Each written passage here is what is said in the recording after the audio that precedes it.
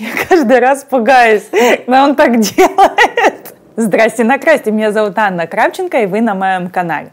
Сегодня мы с вами разберем базовый набор кистей для бровей. Ну что, поехали?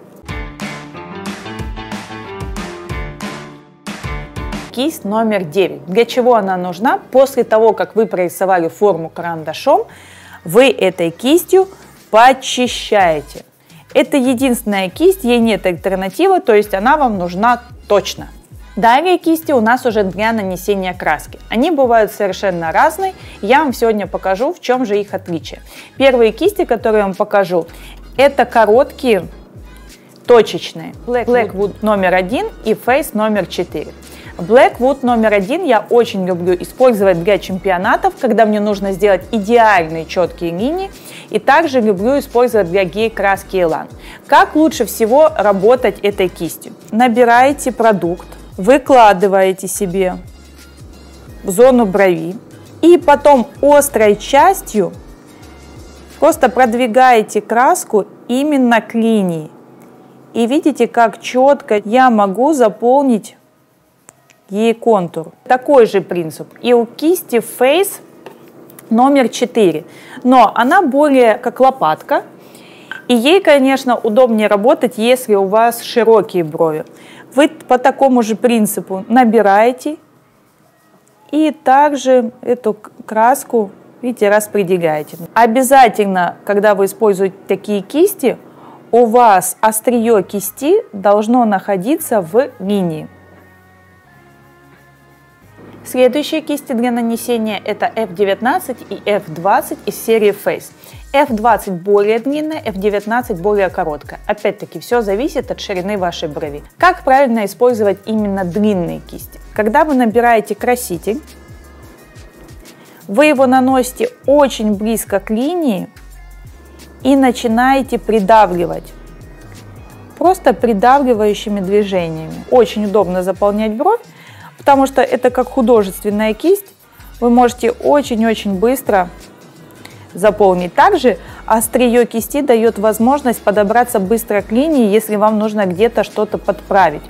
Эту кисть я очень люблю для нанесения краски Smart Brow System, потому что она более жидкая и ее очень удобно именно поддавливать. Если вы опытный бровист, либо любите брови делать очень быстро, тогда вам точно подойдет кисточка F08 из линейки Face. Она также длинная, но более широкая. Поэтому, когда вы набираете краску, вы ее сразу набираете очень много, и вы можете заполнить два раза, взяв краску уже полностью всю бровь. Ей также можно поддавливать, да, вот таким вот образом. И также вы можете быстро нанести полностью на всю бровь. Можно с кистью поработать как с номер один, как я показывала, да, вы аккуратненько, видите, пододвигаете краску, и у нас формируется вот такой вот бортик, который даст нам четкое окрашивание.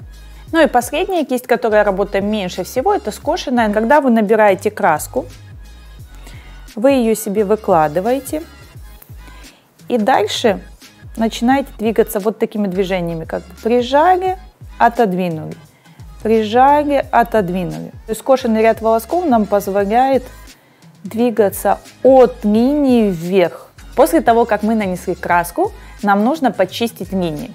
Я рекомендую использовать плоские кисти. Сейчас покажу три моих любимых, а вы выберите одну, которая вам ближе. Из линейки Face это номер 10 и 9. Они отличаются тем, что номер 9, она более такая маленькая. Это хорошо подходит для тонких-тонких бровей. Также этой, кстати, кисточкой можно и наносить краску. Кисть номер 10 – это моя самая любимая из линейки Face – потому что вы ведете, у вас четко будет выстраиваться линия. После того, как вы довели до апекса, я вам рекомендую приподнять кисточку,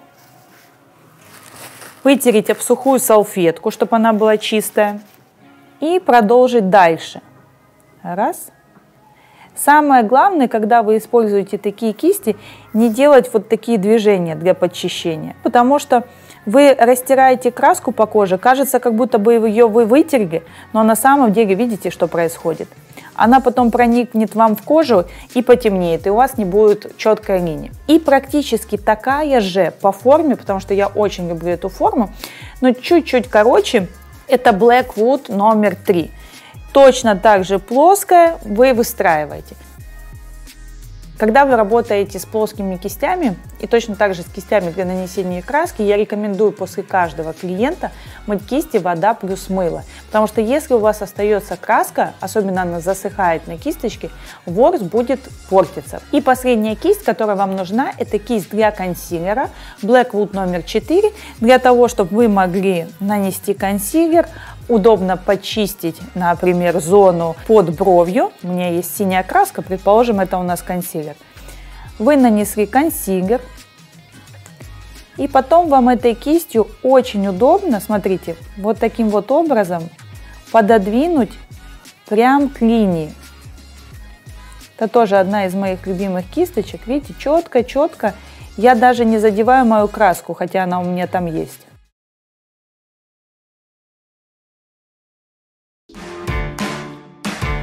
Теперь вы знаете, какой нужен базовый набор для бровиста. Если у вас остались вопросы, пишите в комментариях. Всем пока!